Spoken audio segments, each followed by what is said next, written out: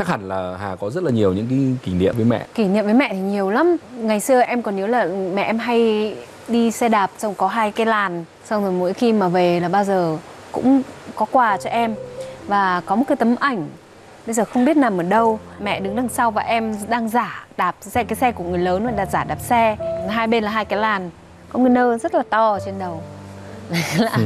đấy là cái hình ảnh mà năm năm tuổi 6 tuổi gì đấy. Ừ. vậy thì ờ, mẹ Hà đã có những cái ảnh hưởng như nào đến tính cách cũng như là suy nghĩ của Hà sau này? Em nghĩ là cái sự ảnh hưởng của mẹ rất là đậm đặc và rất là lớn. Một người mẹ rất là ấm áp, rất là tâm lý. Khi bắt đầu lớn lên một chút là em em thích đọc sách Thì em bắt đầu phát triển cái ờ, sự yêu thích đối với văn chương Mà bắt đầu làm thơ Thì ờ, những cái bài thơ đầu tiên ấy, bao giờ cũng là mẹ là người đầu tiên em chia sẻ Nói chung là mẹ vừa là độc giả vừa là nhà biên tập Em cũng ờ, sống hướng nội những cái gì em làm em không có hay chia sẻ với người khác nhưng mà chỉ Ừ. chia sẻ với mẹ thôi Ừ.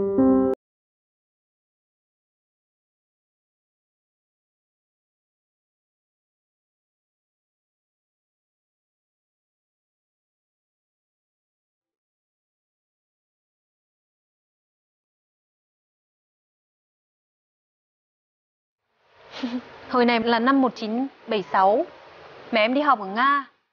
Đây là đang ở Nga đấy. Không biết là ngày gì nhưng mà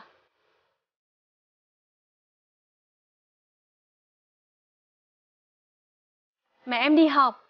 À, Hình như là được 2 năm thì phải. À, Sau đó thì là 77 về là sanh em. Rồi. Vậy ở cái tuổi 14 ấy, Hà đã tập làm quen thế nào với việc xa mẹ, không có mẹ như thế nữa?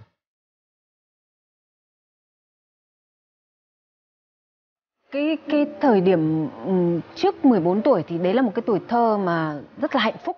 Vì sinh ra trong một gia đình mà lúc nào cũng có âm nhạc này có bạn bè này. Lúc nào cũng vui vẻ như vậy. Khi mà mẹ em bị uh, ung thư mất 2 năm rưỡi sau đấy thì mẹ em mất đi thì nó cũng nó cũng uh, nó cũng là một cái khoảng thời gian rất là khó khăn. Bởi vì là em em thân với mẹ nhất. Mẹ em phải đi một thời gian rồi phải, chắc phải cả năm sau thì em mới bắt đầu hiểu ra rằng là ừ, mình sẽ không bao giờ gặp lại cái người này nữa.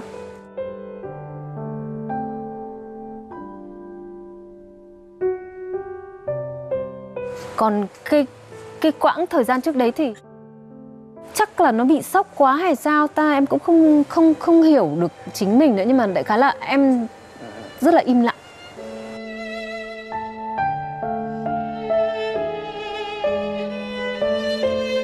Bên ngoài thì có vẻ như là vẫn phải tiếp tục vẫn phải đi học.